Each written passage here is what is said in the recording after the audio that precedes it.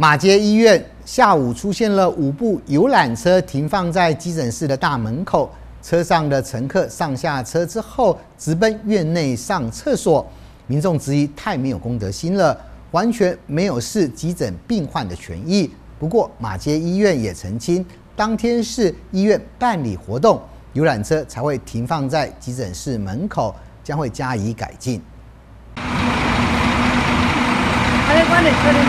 五部游览车就这样排列在马街医院长沙街的侧门门口，车上的乘客一个接一个走出医疗大楼，看起来是上完厕所正要上车。可是仔细看，其中两部游览车停放的位置正好是急诊室门口，上车或是下车的旅客脖子上带着名牌，有的还有随身行李。路旁的民众有人带着怀疑的眼光，好像在说：挡住急诊门口，万一救护车要进来该怎么办？要上厕所也可以到附近的学校或是公共空间。整车旅客进医院尿尿，实在说不过去。不过三十一号马街医院郑重澄清，当时搭乘游览车的不是一般的旅行团，而是基督长老教会的事工。他们进出医院是因为当天院方安排了参观的行程，两个小时的时间参加一场心脏疾病的专题演讲。提供这些长辈预防保健的知识，并非像民众所质疑的游览车竟然停在医院让游客进去上厕所，